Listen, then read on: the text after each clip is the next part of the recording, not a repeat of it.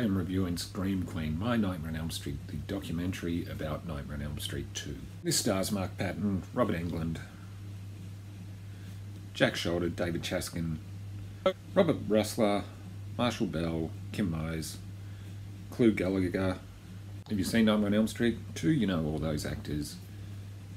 But the documentary mostly focuses on Mark Patton and what he thought was going to be uh, his breakthrough role in a um, sequel to a successful uh, horror movie uh, kind of ruined that. This chronicles Mark's early days from a stage career, making it onto a movie, and then getting his part in A Nightmare on Elm Street 2.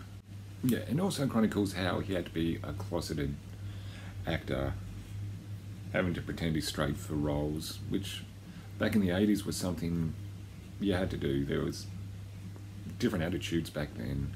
But over time we learned that Mark has kind of embraced A Nightmare on Elm Street 2. It's one of those movies where when it first came out a lot of people didn't like it, but over the years it's kind of got a uh, it's kind of got a cold following now, especially with the LGBTQ community.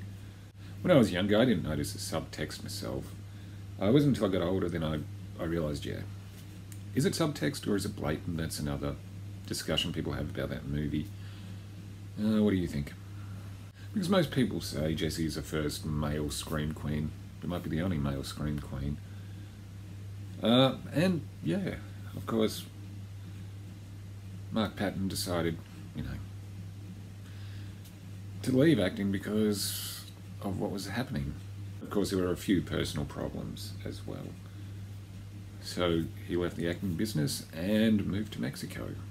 But this documentary also details homophobia in the media and the news and that type of thing. It was just, actually, when you look back at it and they show people's attitude, it really was quite horrible.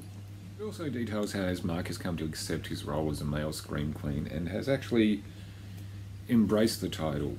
After the excellent Never Sleep Again was when he decided to come back and embrace the uh, convention circuit, starting to meet with fans. And of course, we also get to catch up with some of the other stars of A Nightmare on Elm Street too, and give, they give their opinions on what the actual movie is about.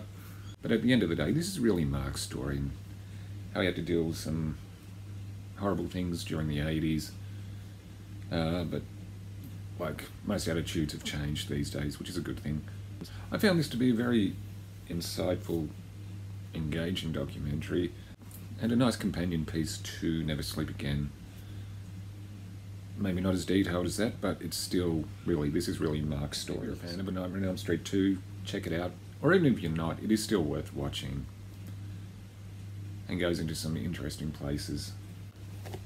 So even if you're just interested in the analysis of A Nightmare on Elm Street 2, there's a bit of that as well and also the history of 80s horror. So I'd say check this out, it is well worth a watch. Okay, I'm Adam, and I'll see you again soon.